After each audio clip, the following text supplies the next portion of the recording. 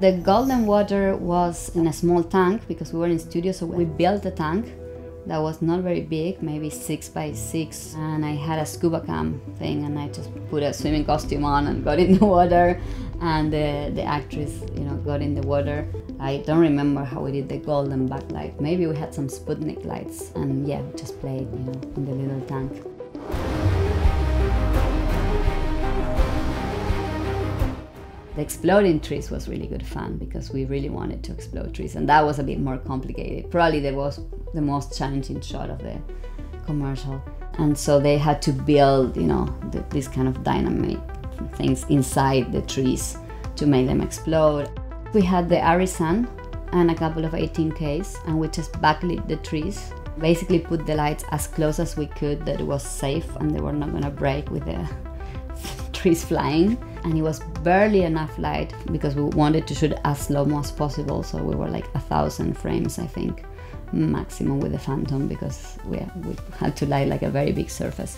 So yeah we just positioned all the lights we had mostly from one side quarterback light and i think maybe we had another one on the other side and they let us uh, build it in the backlot of Cinecittà, but I don't think they were really aware of what we were doing. So when we started exploding the trees, uh, there was this big thing with the police because the planes were coming to land.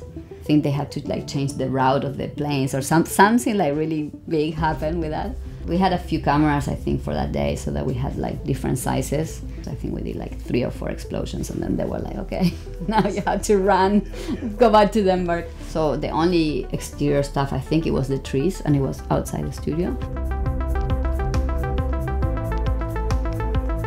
But mostly was done in studio, building things and playing with smoke and light and a little bit of art department and mirrors and all those things that, that we had had fun in Neon Demon and we wanted to take even further. And there's that shot where the camera is kind of flying through the desert dunes and at the end there's this eye. And so that was just like a very small build in the studio, like maybe, you know, like six foot wide by six foot uh, deep with very small, you know, sand dunes. And in, at the end, we have this painting with the esoteric eye. And so I was just trying to see how to light it and figuring out, you know, do I make it very artificial? Do I make it with some crazy neon demon color or do I make it natural?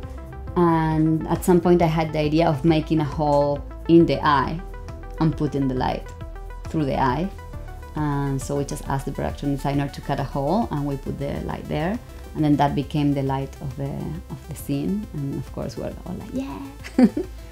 You know we're just trying all that stuff because nobody's watching you know nobody is like it was like a free license to do whatever we wanted. And they they were expecting a crazy you know rough and brighter thing after what we had done. So uh, yeah it was really really amazing to be so free and try stuff.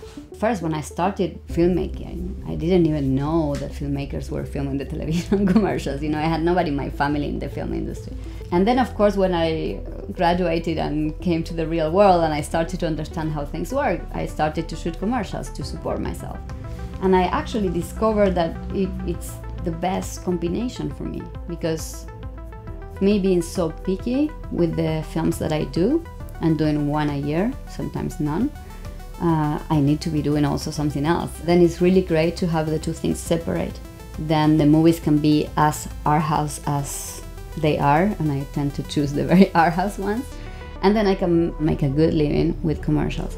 And that also allows me to have a really amazing crew because I take my crew to all the commercials and they all make a lot of money. And then when I have a tiny budget art house movie that I really want to do, I have a top, top notch crew that is gonna come with me and do that because they know they're gonna get their money back later. First time I, Nicolas was in a meeting for Neon Demon. So Neon Demon was the first thing that we shot together.